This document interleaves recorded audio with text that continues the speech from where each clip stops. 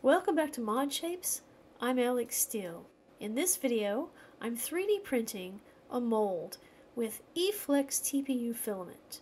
And then I'm going to cast some Smooth-On 300 liquid resin material.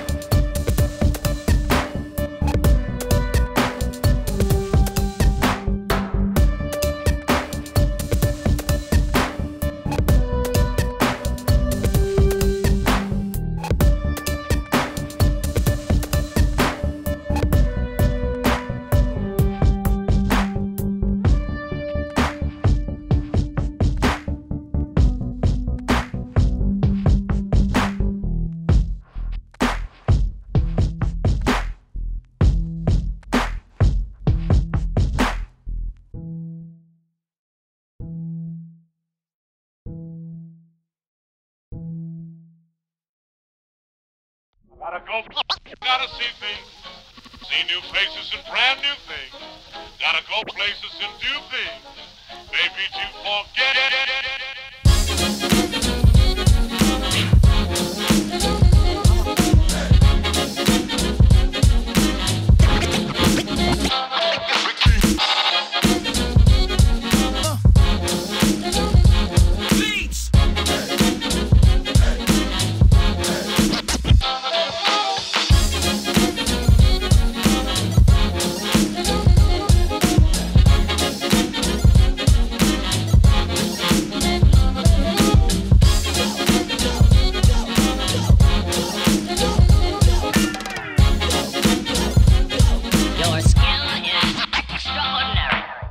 This two-part mold, printed with a flexible filament, came out pretty good and the resulting cast was pretty good. It did pick up every detail in the original.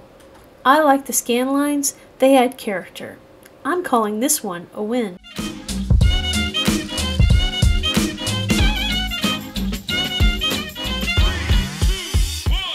Thank you for watching this video. Please remember to like, share, and subscribe. We're always striving for improvement, so any feedback you give will be appreciated and valued. I'll see you guys and gals on the next one.